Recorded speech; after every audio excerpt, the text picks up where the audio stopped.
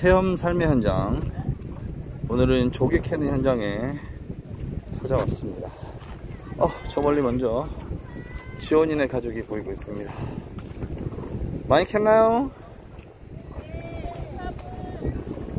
깼어요. 보여주세요 예. 누나한테 있어요. 누나 바구니. 예. 자, 체험 삶의 현장, 조개 케이크 현장에, 오, 가득 찼네요. 대박. 아니야? 4학년 팀 최고네.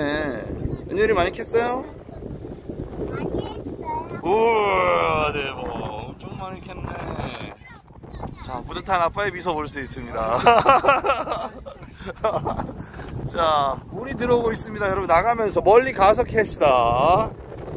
자, 오, 바람이 막. 우와, 여기 넣어주세요. 이야. 아, 멋있네요. 자, 어린이들 하나, 둘, 셋.